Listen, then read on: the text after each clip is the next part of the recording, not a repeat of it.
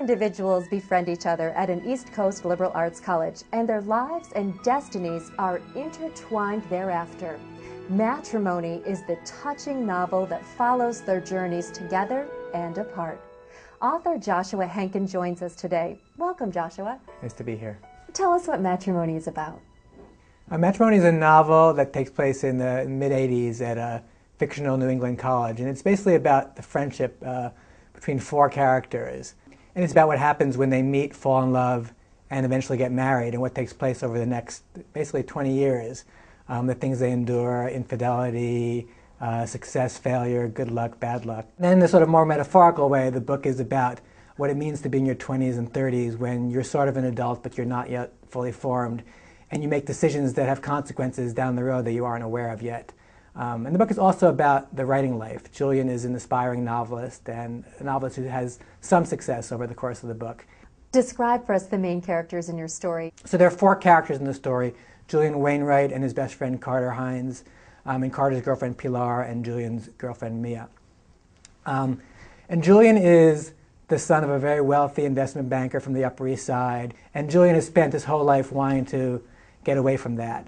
Carter Hines is a scholarship kid. He's much, much poorer than most of his classmates, certainly much poorer than, than Julian is. And he has a chip on his shoulder about it. They're best friends, but there's certainly a, a strong rivalry between them. It's a certain kind of um, male friendship that may be particularly characteristic of college kids, but I think of uh, men of all ages.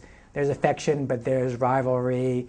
The way that Julian meets Mia is they discover her together in the freshman Facebook. She's Jewish, Julian is a WASP, and he falls in love with her and basically ends up following her all over the country in, vari- in various ways. What impressions of life as a struggling writer have you incorporated into the book? A lot of them. Part of what Julian's doing is he's spending a long time on a book. He spends 15 years on, on, on his novel. And Mia actually spends almost 15 years on her dissertation. They're kind of parallel struggling writers, each with uh, their own writer's block. Uh, my first novel, Swimming Across the Hudson, I wrote in three years, and this one took 10 years. And I threw out literally thousands of pages. And I think a writer has to be willing to kill their babies, as people say. And I think that it really takes a couple of years to know not if, not if it's going to be a good novel, but if it's going to be a novel at all. I mean, you know, there's so many people out there who think they want to write but aren't actually doing it. A lot of them say things like, "Oh, I'd love to be a writer, you know, if only I had the time." I'm always tempted to tell, you know, a doctor who says this to me that I would love to be a brain surgeon if only I had the time. um, and so I think it's a way in which people from the outside romanticize what it's like to be a writer, but people who are actually living it know that it's a job like everything else. Which novelist do you find inspiring? Um, I would say that my fiction in general is in sort of the realist mode. Um, John Cheever short stories, um, I really like Richard Russo's Empire, Empire Falls, um, Ian, Ian, McEwan, Ian, McEwan's Atonement. Uh, Wallace Stegner's Crossing to Safety is a novel that really inspired the book in some way because that too is an academic novel that takes place between two couples and is about fiction writing. Uh, Claire Messud's Emperor's Children. I like Lorrie Moore short stories, Amy Bloom short stories. I think if you like those books, uh, you'll really like, like my book. The novel starts in New York City and ends in New York City.